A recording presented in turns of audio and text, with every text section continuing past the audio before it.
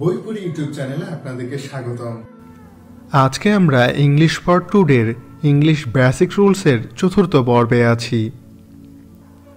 কোনো একটি কাজ বা কোনো কিছু করার ইচ্ছে আছে, এমন অর্থ বোঝাতে আমরা ইংরেজিতে ইন্টেন্ড টু ব্যবহার করতে পারি, যার বাংলা অর্থ ইচ্ছা আছে। এর স্ট্রাকচারটা হচ্ছে subject plus intend to plus ভার্বের ফার্স্ট ফর্ম অর্থাৎ ভার্বের প্রেজেন্ট ফর্ম। এর উদাহরণ হিসাবে আমরা বলতে পারি, আমার একটা গাড়ি কেনার ইচ্ছে আছে। I intend to buy a car I intend to buy a car আমার একটা গাড়ি কেনার ইচ্ছা আছে। ফারুকের বিদেশে যাবার ইচ্ছা আছে। Farooq intends to go abroad Farooq intends to go abroad ফারুকের বিদেশে যাবার ইচ্ছা আছে। কোনো কাজ করে আমরা যদি আনন্দ বা সুখ শান্তি পেয়ে থাকি, সেটিকে আমরা ইংরেজিতে প্রকাশ করতে এনজয় শব্দটি ব্যবহার করতে পারি, যার বাংলা অর্থ আনন্দ বা সুখ বা শান্তি কিংবা মজা। এর স্ট্রাকচারটা হবে সাবজেক্ট প্লাস এনজয় প্লাস ভার্বের সাথে আইএনজি যোগ প্লাস এক্সটেনশন। এর উদাহরণ হিসাবে আমরা বলতে পারি, আমি গাড়ি চালিয়ে মজা পাচ্ছি। I enjoy driving car I enjoy driving car আমি গাড়ি চালিয়ে মজা পাচ্ছি। আমি টেলিভিশন দেখে মজা পাচ্ছি। I enjoy watching TV I enjoy watching TV আমি টেলিভিশন দেখে মজা পাচ্ছি।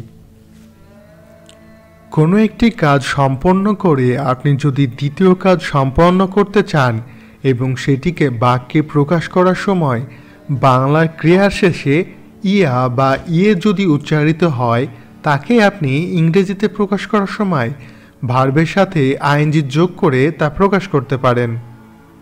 এর স্ট্রাকচারটি এমন হতে পারে, হ্যাভিং প্লাস ভার্বের থার্ড ফর্ম বা ভার্বের পাস্ট পার্টিসিপল প্লাস অবজেক্ট এরপর অ্যানাদার ক্লজ এর উদাহরণ হিসাবে আমরা বলতে পারি, ভাত খাইয়া আমি কলেজে যাব। Having eaten rice I will go to college having eaten rice I will go to college ভাত খাইয়া আমি কলেজে যাব। অজু করিয়া আমি নামাজ পড়ব। Having taken ablution I will say prayer having taken ablution I will say prayer উজু করিয়া আমি নামাজ পড়ব। কোনো একটি কাজ করতে আপনার ইচ্ছে হচ্ছে, এটি ইংরেজিতে প্রকাশ করতে আপনি ফিল লাইক ব্যবহার করতে পারেন, যার বাংলা অর্থ ইচ্ছে করছে।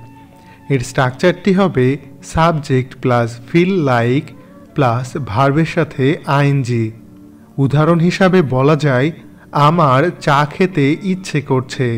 I feel like taking tea I feel like taking tea আমার চা খেতে ইচ্ছে করছে।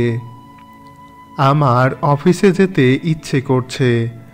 I feel like going to office I feel like going to office আমার অফিসে যেতে ইচ্ছে করছে।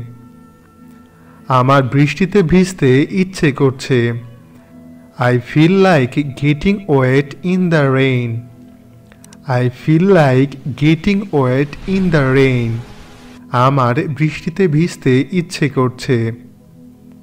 কেউ যদি আপনার মুখের উপর খুব বড় কোনো কথা বলে ফেলে সেটিকে আপনি ইংরেজিতে প্রকাশ করতে ডিয়া শব্দটি ব্যবহার করতে পারেন, যার বাংলা অর্থ সাহস।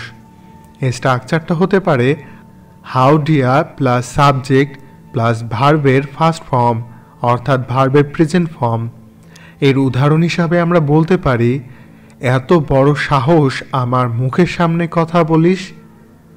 How dare you speak before my nose how dare you speak before my nose এত বড় সাহস আমার মুখের সামনে কথা বলিস?